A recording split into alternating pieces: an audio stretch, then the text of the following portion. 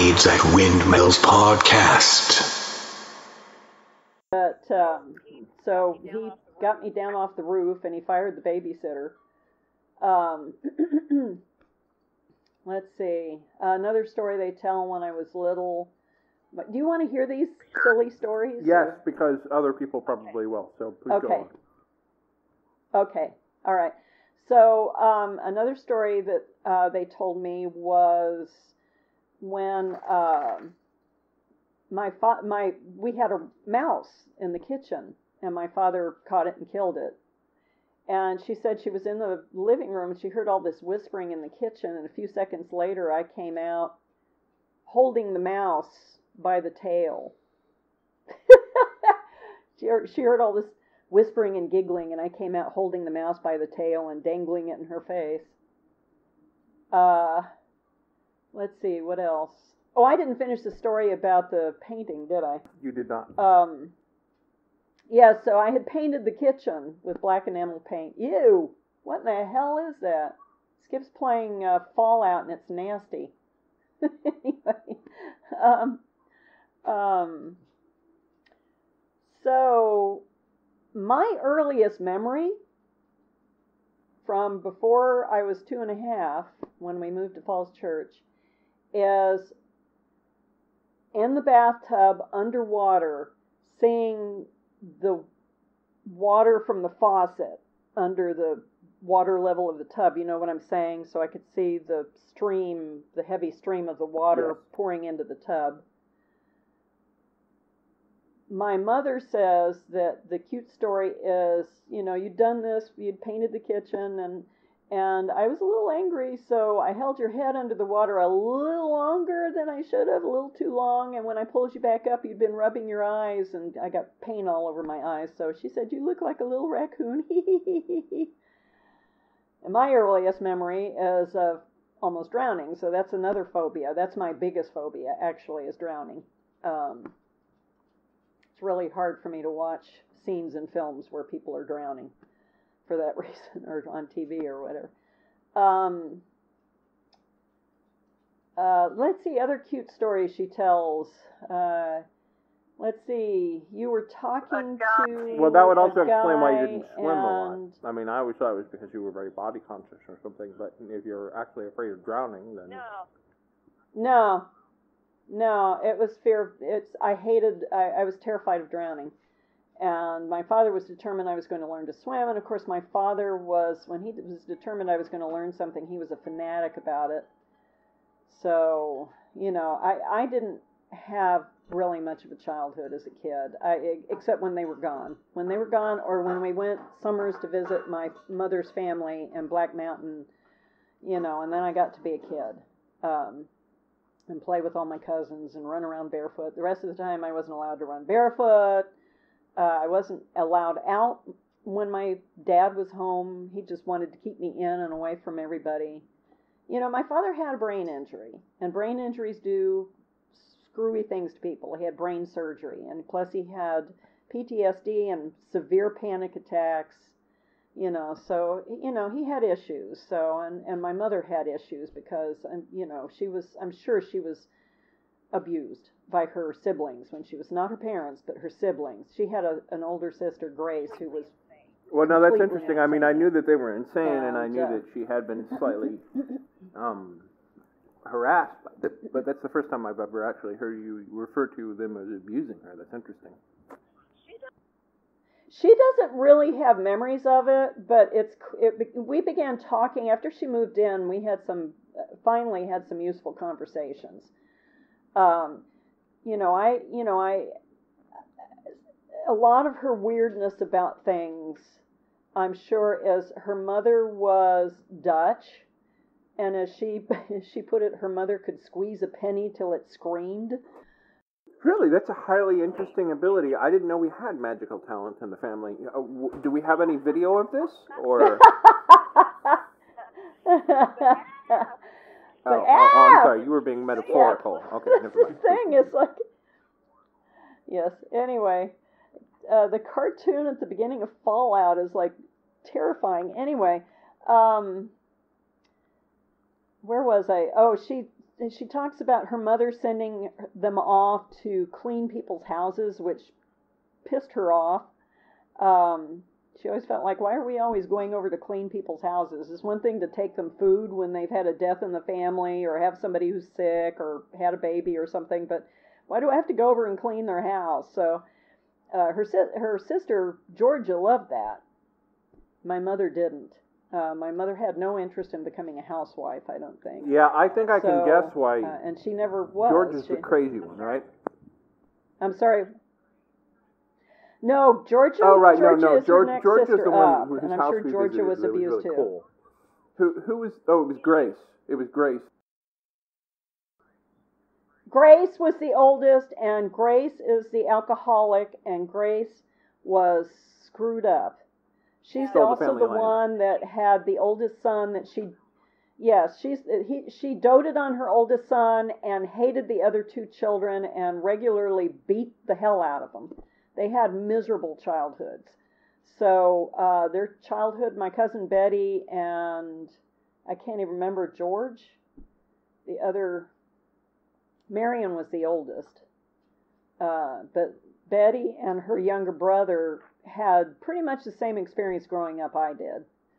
So, you know, they were regularly, Mama got drunk and beat the hell out of them. So, because she really didn't want the other two children. She just wanted her beautiful boy that she doted on and made just, you know, it's kind of like Donald Trump and his sons, you know, his eldest son turned her son into a mini me. And apparently, her granddaughter is just as nuts as both of them, but I don't know. Anyway, um, but yeah, we had some interesting conversations in which I said, you know, I have a feeling you were abused as a child um, because she got left with her sisters a lot because my grandmother was in her early 40s when my mother was born obviously a complete surprise. And, you know, my grandmother, she remembers her mother always canning and cleaning and cooking and stuff. And my mother, my grandmother apparently completely doted on my grandfather.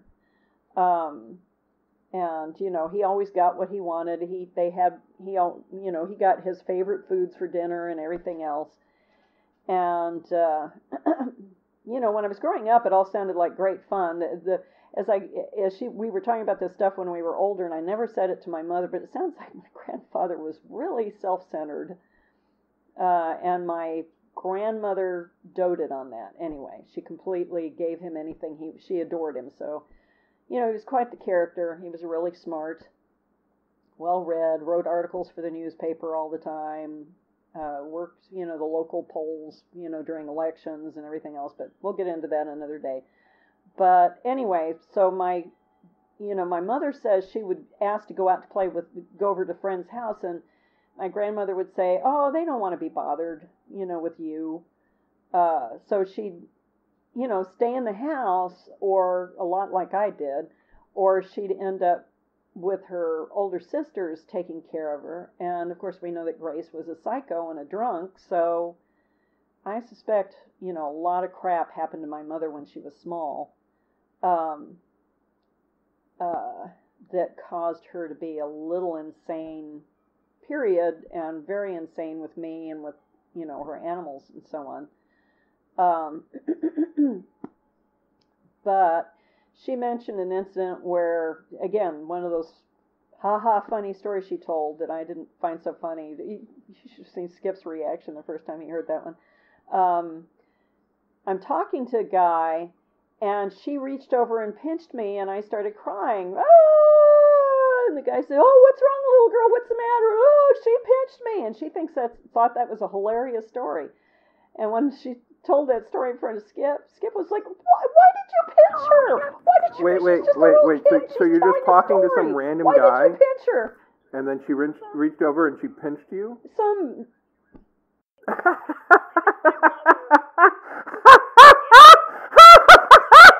no, no, not really. That's not really that funny. I'm sorry. it is funny when you think about it. It's one of those things that Carrie Fisher says.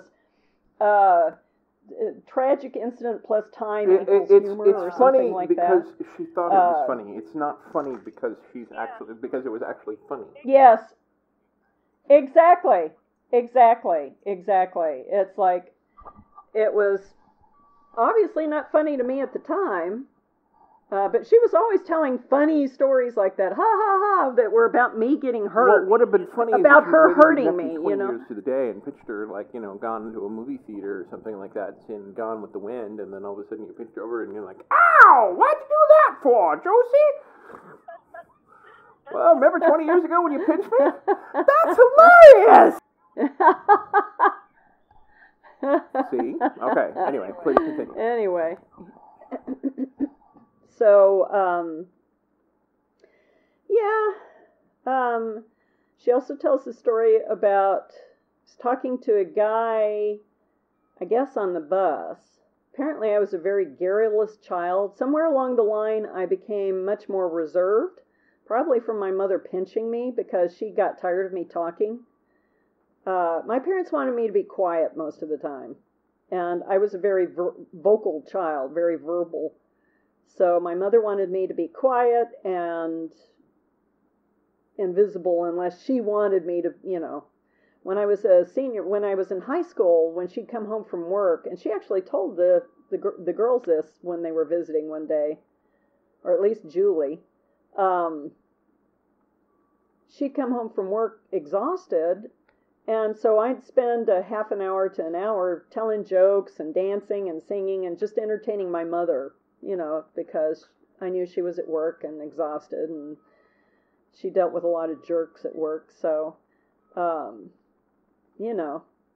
And she also tells a story about coming to pick me up from nursery school and I was singing for the entire class. So, um, I was very extroverted and unafraid of everything, and then, you know, and very verbal and and then somewhere along the line I became terrified of everything and everybody. So now I now I have to take medication for panic attacks when I get around too many people. But I I you know, I do get on stage and perform and singing is more frightening. I don't know why, but um uh So so far we've Anyway. established that you're afraid Um, of heights, drowning, crowds, people, and singing,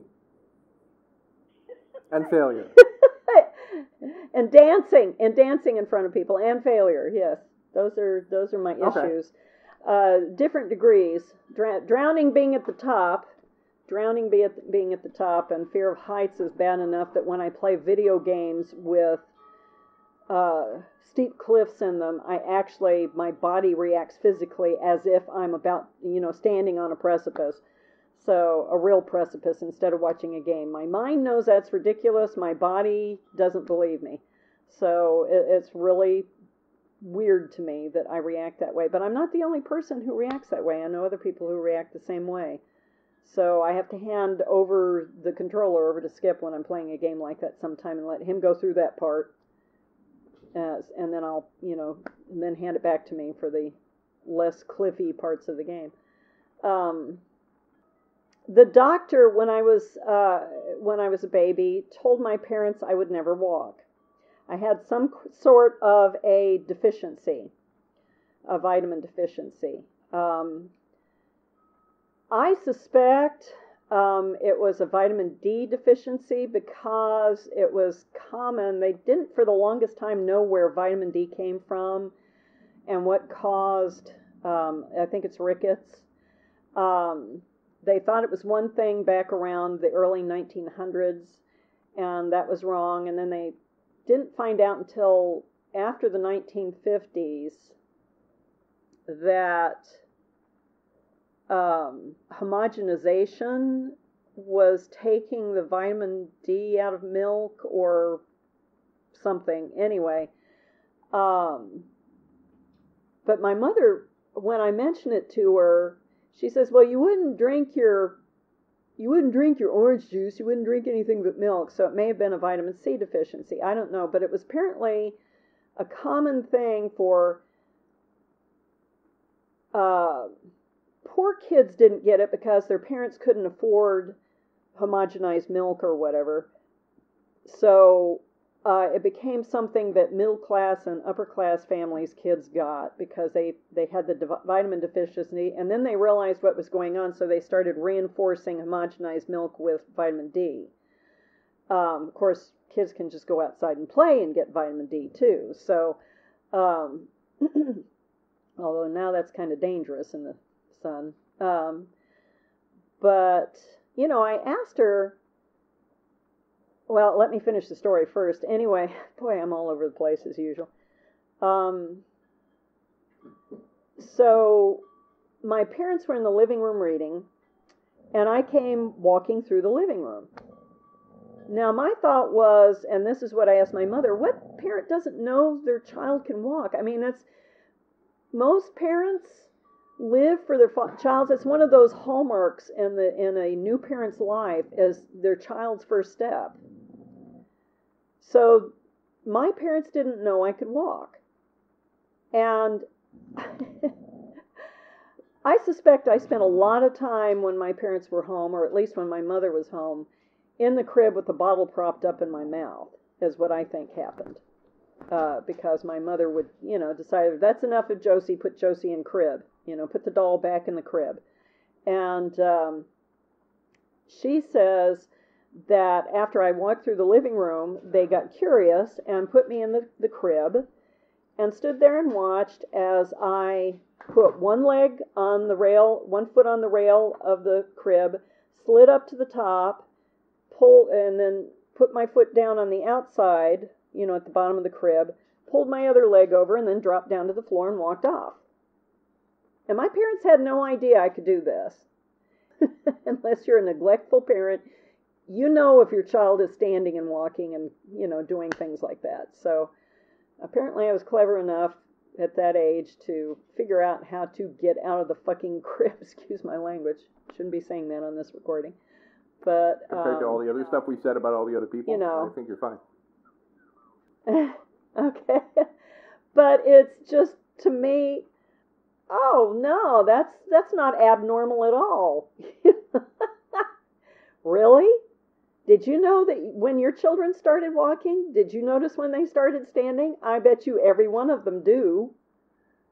Remember when their children started walking, etc., etc., etc., you know. so, um, anyway.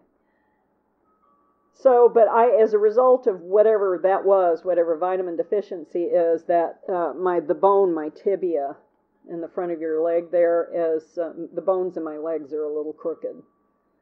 Uh, not a lot. Uh, and obviously, we moved to where there was, uh, I guess there was um, fluoridation in the water because I have really strong teeth, um, which is good. Not that that matters. But um, let's see what else. My earliest memory from when we moved to Falls Church, we moved to Falls Church Oh, okay. I'm wrong. I'm remembering wrong. I'm misremembering. Okay, so we lived in Burlington until I was about two and a half.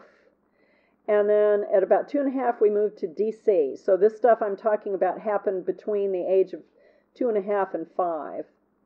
And then when I was five, we moved to Falls Church. And like I said, my mother told me we moved to Falls Church to get away from my father and it was all my fault we stayed with him because I was afraid he would kill himself. So she made she made that very clear to me that it was all my fault. She didn't put it in those terms, but it was clear that it was my fault that we stayed with my father. So anyway, um, my earliest memory in Falls Church is standing on a fire hydrant and slipping and hurting myself. And then another memory of playing with records. Um, back then, the the vinyl records, children's records, were all kind of different colors, uh, red and yellow and stuff like that. I don't remember any blue ones, but I had red and yellow ones. And I was holding a record and flinging it up in the air.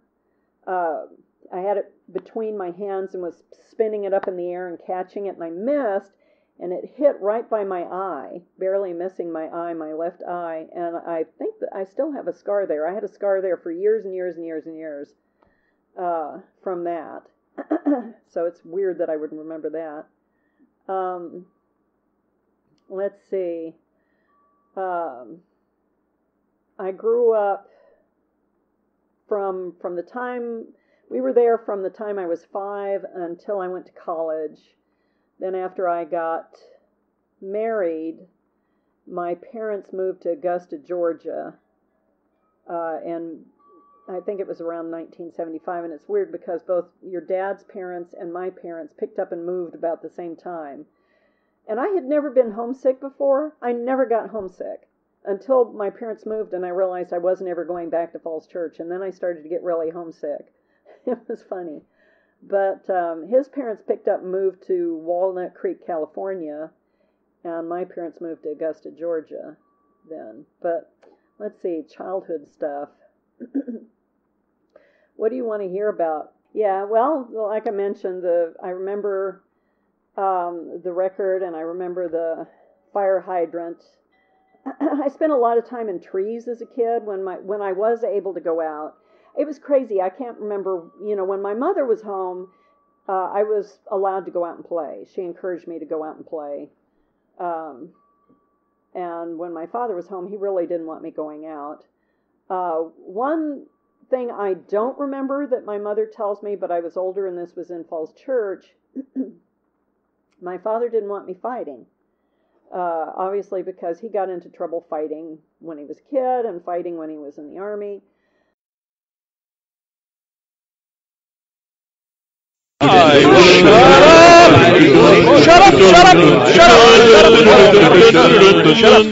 Shut up! Copyright 2017 Red Anvil Amalgamated LLC. For more of this and other worlds, visit redanvilcreative.com. To fight the forces of evil!